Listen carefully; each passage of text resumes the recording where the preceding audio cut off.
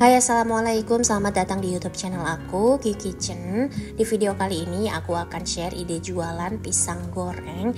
Ini pisang goreng yang lagi rame banget dan yang beli itu sampai rela antri. Langsung aja buat teman-teman yang mau tahu gimana cara bikinnya Tonton terus video ini sampai dengan selesai Oke, pertama kita siapkan 200 gram tepung terigu, lalu tambahkan dengan 3 sendok makan gula pasir.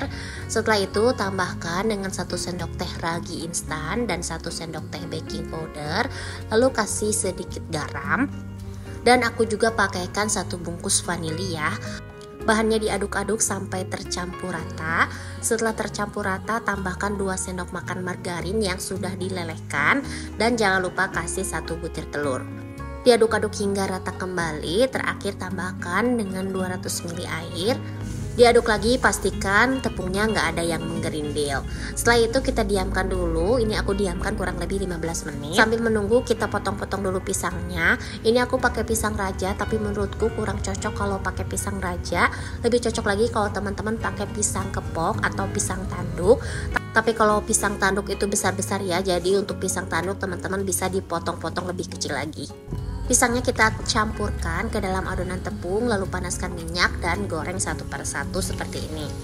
Pastikan minyaknya sudah benar-benar panas dan kalau sudah masuk semua ini jangan dulu dibalik kita biarkan dulu hingga agak kering. Kalau sudah agak kering boleh kita bolak-balik seperti ini. Kalau sudah agak kecoklatan seperti ini kita angkat dan tiriskan. Ini hasil pisang gorengnya bentuknya cantik, lucu dan menul-menul seperti ini. Untuk toppingnya di video ini aku kasih topping keju dan juga coklat. Sebelumnya kita kasih dulu susu kental manis ya. Selain keju dan coklat, teman-teman juga bisa kasih topping seperti glaze dengan aneka varian rasa. Kalau untuk jualan jangan lupa keju parut yang menggunung seperti ini ya biar terlihat lebih menarik.